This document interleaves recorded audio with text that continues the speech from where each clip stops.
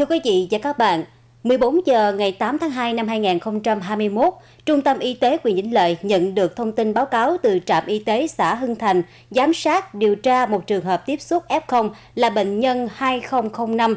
Trường hợp này là chị Võ Thị Ngọc Mơ sinh năm 2000, khoảng 8 giờ ngày 6 tháng 2 năm 2021 xuất phát từ thành phố Hồ Chí Minh về Bạc Liêu. Dọc đường có ghé trạm dừng chân 8 ghi.